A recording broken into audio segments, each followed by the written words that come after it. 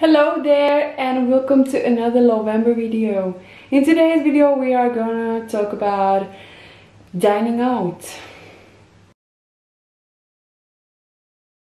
As in a busy life today, there is a big push for convenient food and quick meals. So dining out is very popular these days and um, it might be a little bit difficult to keep on sustainable nature of uh, of your eating while you are not preparing it yourself. Taking takeaways, um, it's highly likely um, that your food is gonna be served with a lot of plastic utensils and packed with not recyclable and reusable boxes.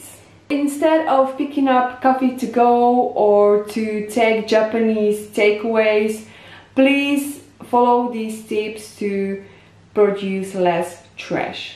The better alternative or more environmentally friendly is to dine in a restaurant for example. Remind your server that you don't need plastic cups because you obviously took one with you.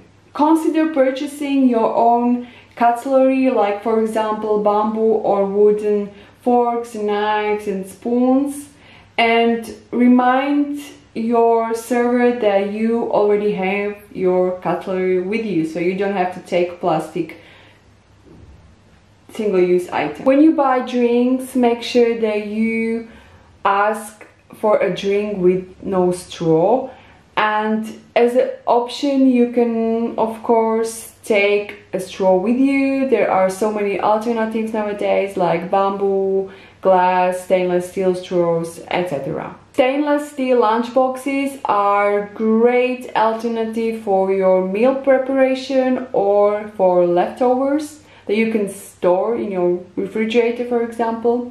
Or you can take these lunch boxes to work and to make your own food at home and you don't have to buy anything in the cafeteria or when you're stressed out buy anything at takeaways. If you decide to order takeaway, um, ask them if you can bring your own lunchbox. They might look at you um, as if you were not from this planet don't care about what any other of these people think.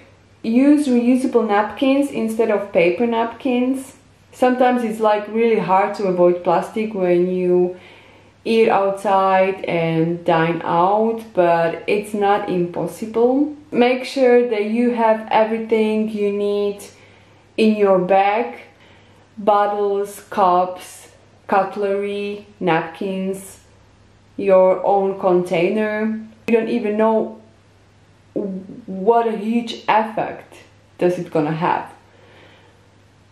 Yeah. So um, that was it. I think I'm gonna leave you here and um, think about it a little bit and think about all your consume when you go and dine in a restaurant and have your eyes open and um, be sustainable, be conscious about your actions. If you're gonna post anything about reducing your waste in November, please make sure that you tag me on Instagram and put a hashtag of Lowember to it so I can see how you are reducing your waste and uh, make sure you subscribe to my channel because the next video is coming up tomorrow. I see you tomorrow. Bye.